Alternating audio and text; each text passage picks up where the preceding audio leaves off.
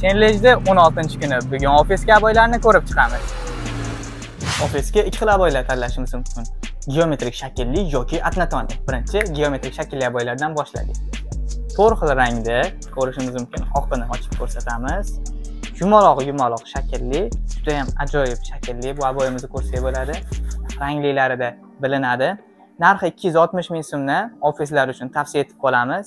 Hozirgi kunda ofisga однотоннийлар ham juda ham chiroyli chiqyapti. Bunaqangi однотонный atachento fakturasi aboylar bilan chirag'ni nurida shunaqa tovlanib beradi.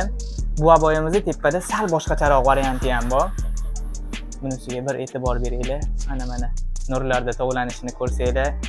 Juda yam ajoyib. Bular rossiyada ishlab chiqarilgan birinchi variantimiz ikki yuz ellik besh ming so'm edi. Bular ikki yuz to'qson ming so'm hammasi moyishi o'n metr kvadratli aboylar.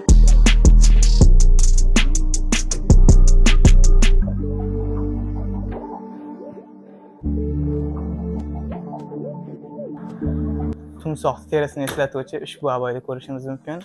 Judayam ajoyib chiqqan dizayni haqiqatdan ham boshqa aboylarga o'xshamaydi takrorlanmas dizaynda. Germaniyani aboyi va yana bir germaniyada ishlab chiqarilgan ushbu aboyni ko'rishimiz mumkin. Palmalarni eslatadi bizga. Bu ham ofisga juda ham необычный ajoyib chiqadi. И bu ham palmalarda fakturasi tushirilgan. Bu aboyni ham ofisga tavsiya etib qolamiz.